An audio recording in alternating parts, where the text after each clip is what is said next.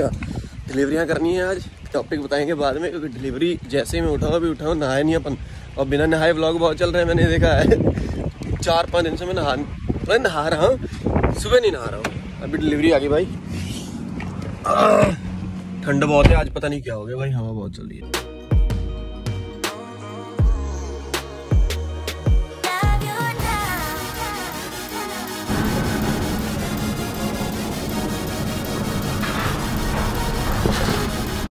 यार केले नहीं है। सब केले उठा लेंगे लोग।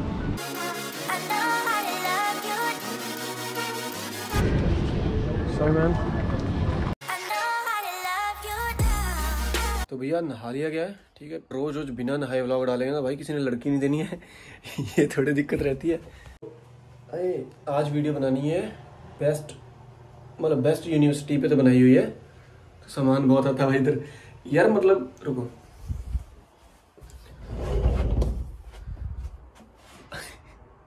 आज वीडियो बनानी है कि यार, कौन सी यूनिवर्सिटी सही है, किसमें आपका एडमिशन लेना चाहिए? यूनिवर्सिटी का नाम नहीं मतलब वो तो बहुत है भाई।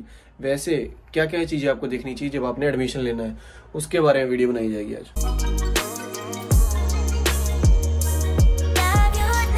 पहले बना लिया जाए कुछ खाने के लिए।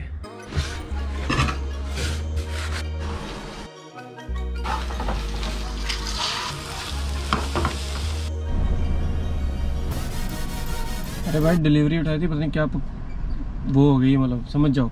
ये नेट नहीं चल रहा साले में।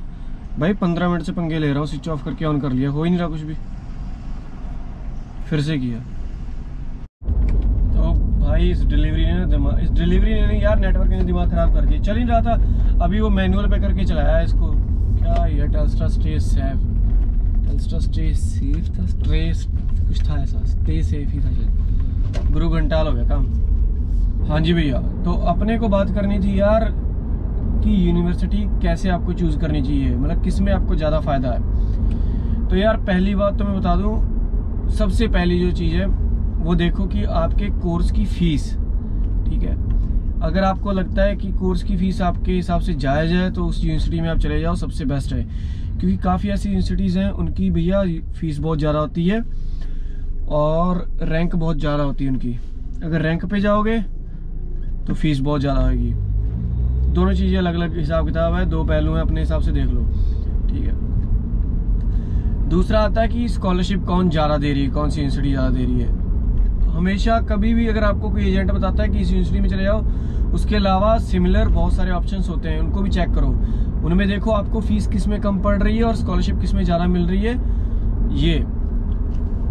दो चीज़ें होगी क्लियर क्योंकि ये एजेंट उसी में आपको भेजेगा जिससे उसको कमीशन ज़्यादा आ रहा होगा पढ़ाई आपने करनी है बाकी अपनी जॉब्स का हिसाब भी लगा के चलना चाहिए कि कौन सी सिटी में क्या हिसाब किताब चल रहा है जॉब्स का। बाकी ऑस्ट्रेलिया में जॉब्स की कहीं भी कमी नहीं है, बस बंदा मेहनत करने वाला होना चाहिए। जॉब्स मिलती रहती है आप लोगों को।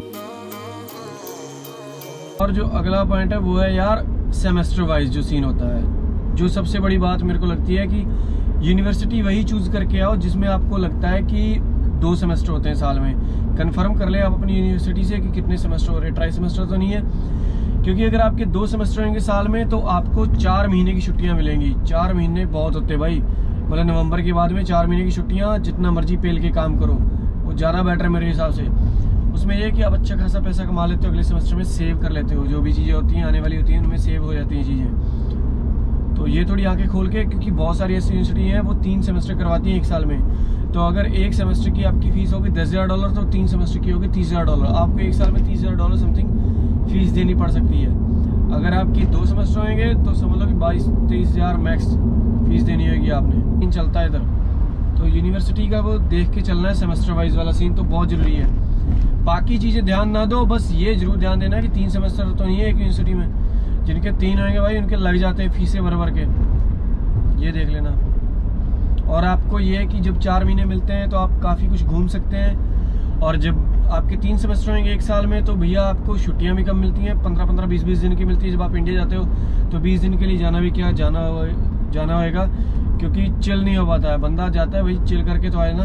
क्योंकि पूरा साल आप काम करते हो स्टडी करते हो स्ट्रेस फ्री होके आना होता बंदे ने। तो एटलीस्ट यार मतलब चालीस, पैंतालीस दिन तो मिले बंदे को। अगर चार महीने की छुट्टियाँ आप जनवरी में चले जाओ तो ठंड होती है, आराम से जाओ। चिल माहौल। यही है बस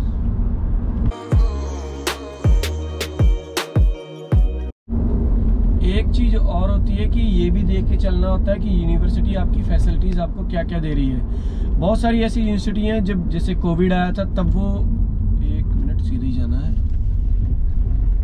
तब वो पैसे दे रहे थे स्टूडेंट्स को। लेकिन हमारी यूनिवर्सिटी ऐसी थी, घटिया यूनिवर्सिटी जो कुछ नहीं दे रही थी। और इसने हम लोगों से वादा किया था हमारी यूनिवर्सिटी ने प्रॉमिस किया था कि आपके नेक्स्ट सेमेस्टर में 20 परसेंट फ़ीस कम करी जाएगी। बाद में ये साले मुकर गए। कुछ नहीं किया इन्होंने।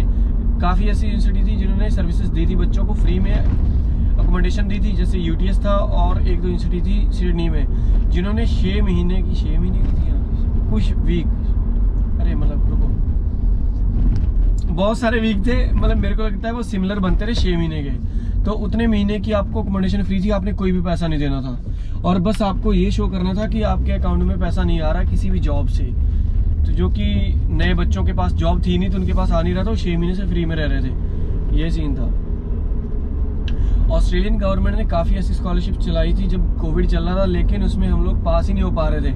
क्योंकि हमारे पास जॉब थी मेन जो रिक्वायरमेंट थी, वो स्कॉलरशिप लेने की, वो थी कि बच्चे के पास पैसा नहीं होना चाहिए अकाउंट में। और मेरे ऑलरेडी इंडिया से आ रहे थे और मेरी फ़ीस भी आई हुई थी तब इंडिया से तो ये भी चक्कर पड़ गया था। तो इसलिए अपने को कुछ नहीं मिला। बबुआ बहुत महँगा काम पड़ा अपने को। और भाई, जितना भी मैं म्यूज़िक यूज़ करता हूँ, बताता हूँ, ठीक है? काफ़ी लोग पूछते रहते हैं, कहाँ से कौन सा म्यूज़िक तो भाई, मैं एपेडमिक साउंड यूज़ करता हूँ, बाईस डॉलर जाते हैं एक महीने के उसके। वैसे जो लास्ट वीडियो में गाना था, वो लोको पोर्ती वाला था। लोको पोर्ती, बड़ा अच्छा गाना है वो। म्यूज़िक म्यूज़िक अच्छा है। डिस्क्रिप्शन में लिंक दे दिया करेंगे नेक्स्ट टाइम से। यार ध्यान नहीं रहता मेन बात तो ये है। और साथ में भाई ये भी चेक करके चलना होता है यूनिवर्सिटी का कि वो कितनी दूर है। तो देख के चलना पड़ता था कि यार बस स्टॉप वगैरह का सीन क्या है और मतलब ट्रांसपोर्टेशन का क्या सिस्टम है। मतलब सब कुछ देखभाल के अपना चलना है कि जाने आने का क्योंकि आते ही आप गाड़ी नहीं खरीद लोगे तो उस चीज़ को ज़रूर ध्यान में रखना है। अपन लोगों ने सोचा था कि यार ड्रोन ड्रोन उड़ाएँगे लेकिन हवा का बड़ा चक्कर रहता है भाई। यार हवा बहुत ही ज़्यादा चलती है इधर। गंदे हालात है। बोतल है वादू आ वादू हाँ जी भैया तो लड़के आज फिर चले क्रिकेट खेलने। नेक्स्ट डे छड़ा union in the ground bro है? छड़ा union in the house boy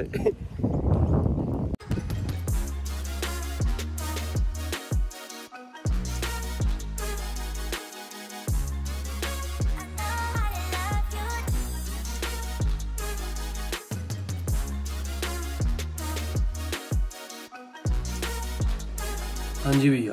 तो अपन लोग क्रिकेट खेल के आ गए थे। एक मैच खेल रहे थे। उसकी मतलब फ़र्स्ट सेकंड इनिंग चल रही थी। तो अपने लगी बॉल गलत जगह पे। क्योंकि चैतन्य भाई बॉलिंग करवा रहे थे। उन्होंने चार वाइडे फेंकी। बाद में मेरे को लगा सीधी आएगी नहीं। तो सीधी बहुत गलत जगह आ गई, ठीक है? तो फिर अपन लोग वहाँ गिर गए। फिर अपन लोग सुसु वगैरह गए और फिर घर आ गए। तो अपन लोगों ने मैच नहीं खेला। फिर मैं घर आके सो गया। मतलब मैं दो नींद में सोया हूँ, कम से कम तीन चार घंटे। फिर उसके बाद मेरे को जॉब पे जाना था, फिर मैंने वहाँ पे आके मेरे को समझ नहीं आया मैंने वीडियो बनाई कि नहीं, क्या किया मैंने। तो शाम को फिर जब हम लोग जॉब पे गए थे तो वहाँ पे दिखाया। तो आज डीप क्लीन करना था। तो संडे को मतलब गहरी गहरी सफाइयाँ होती हैं प्रॉपर ढंग से। तो वही लगे हुए थे सब बच्चे। तो अच्छा तो बस यही है। उम्मीद करते वीडियो आपको अच्छी लगी होगी। मिलते हैं नेक्स्ट वीडियो में। तब तक के लिए बाय बाय अपना ख्याल रखें। और अभी सब कुछ सेट है थोड़ा सा दर्द है। वो लड़कों को पता है, जब बॉल लगती थोड़ा सा रहता है, तेज लगी है। बाय बाय और एक चीज़ मैंने बता दी भाई, बहुत सारे लोग ना वीडियोस देखते हैं इंस्टाग्राम पे फॉलो नहीं करते हैं। इंस्टाग्राम पे जाकर बहुत सारी स्टोरीज देखने को मिलती हैं। डेली कुछ ना कुछ अपडेट दे दिए जाते हैं उस पर तो इंस्टाग्राम डिस्क्रिप्शन में मिलेगा N S J dot blogs जाके चेक करना। काफ़ी कुछ है उधर।